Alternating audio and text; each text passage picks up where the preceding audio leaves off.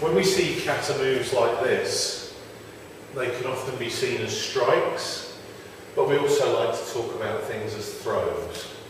And the simplest idea for a throw is if I've got a big left hook coming in here and I get into here, is that I take hold of this and then I bring it down.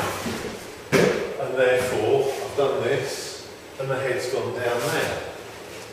Now, that, that's kind of the exploded view and it, it, you know, if you've seen this move in uh, Gojushiho or, um, or, or Chinte, then, then it, it, it looks like you're chopping things. And we could easily think that we want to chop uh, a target on the body, on the legs, on the head even, if I bring the head down there. But this throw has another level of interest as well which is to say that when that big hook comes, and it could be grappling, it could be a big hook, it doesn't matter. Uh, when that goes in, everyone's seen me step away.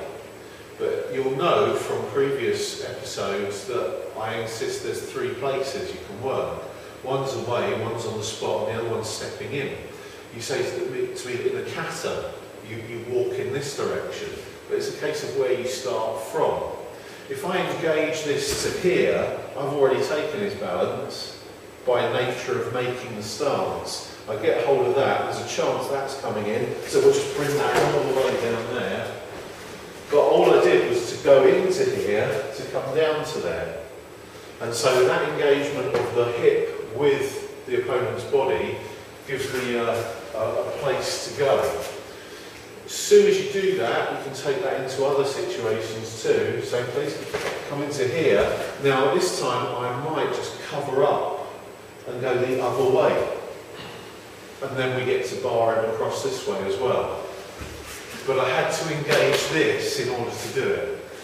So these are low stances that are no good for practical uh, combat. Uh, I couldn't do that if I was if I was stood up and went like this we get into a bit of a struggle.